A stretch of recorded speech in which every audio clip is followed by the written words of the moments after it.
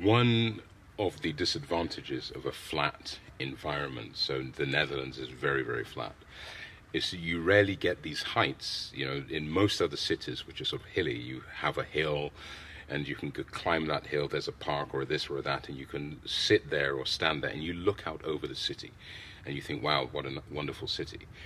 You really don't have much of that in uh, Amsterdam. Well, in fact, you have none of it. The only way to see the city is you must go onto the roof of a building. So this is uh, the roof of Nemo. That's the science museum, and you just about see at the top. Those are the I've forgotten what road that is, but it goes underneath the building, goes somewhere else. Well, what fascinates me is the number of times I see people sitting down and they um, they watch the city. It's like watching a movie. The city itself is a cinema, so it's almost as if these people here are, are sitting in the cinema, and the movie playing is the movie of the situation of Amsterdam, so the south of Amsterdam, because you look towards the south, the south of Amsterdam at that moment. Um, sometimes it's busier, it's full of people. Slightly to the left, that arc thingy is um, there's some fountains and all kinds of funny gadgets.